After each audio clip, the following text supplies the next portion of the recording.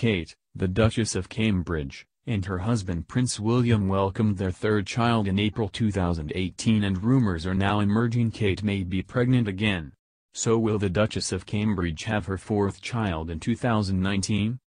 The Duke and Duchess of Cambridge are already proud parents to their three children Prince George, 5, Princess Charlotte, 3, and Prince Louis, 8 months.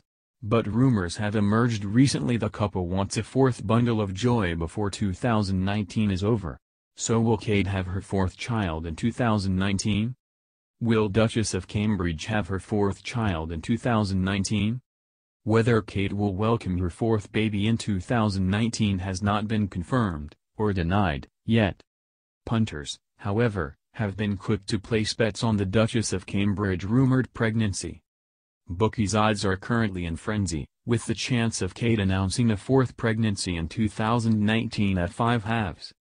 Ladbrokes has also revealed odds at 8-1 of the Duchess having her baby this year.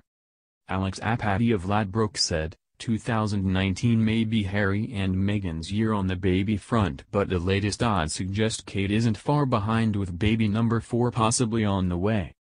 Kate may want to follow in Queen Elizabeth II's footstep by having four children. A royal source has previously told Express.co.uk Kate has always wanted at least three. The source claimed, as one of three, Kate wanted at least three.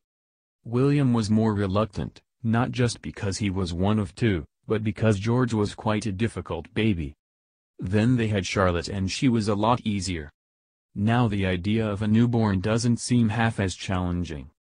Kensington Palace officials refused to comment to express.co.uk but added if Kate were pregnant, an official statement would be released. However, official statements regarding royal pregnancies usually get released around the 12-week mark. And let's not forget, in recent times the palace has been known to quickly correct wrong claims. For example, Kensington Palace officially commented on Meghan's family dramas before her wedding to Prince Harry in May 2018. So the lack of comment from the royals could mean the Cambridges, in fact, will be welcoming a new baby in 2019.